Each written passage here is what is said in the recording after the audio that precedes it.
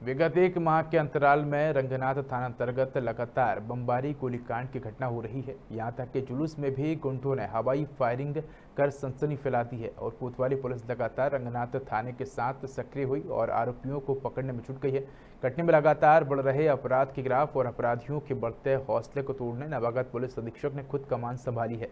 SP अपराधियों के ठिकानों और अड्डों पर छापामार कार्रवाई की और अपराधियों को पकड़ने में सफलता हासिल की है।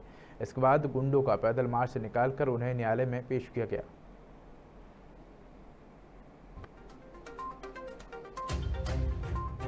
हाँ हम लोगों के संज्ञान में ये घटना आई है और थाने स्तर पे इसमें कार्रवाई की जा रही है। जो आरोपी हैं, उनमें से कुछ को हमने चिन्हित भी कर लिया है और हमें पूरा विश्वास है कि अगले ही कुछ घंटों में हम उनको गिरफ़्तार करके जो विधि सम्मत कार्रवाई है वो करेंगे। और इस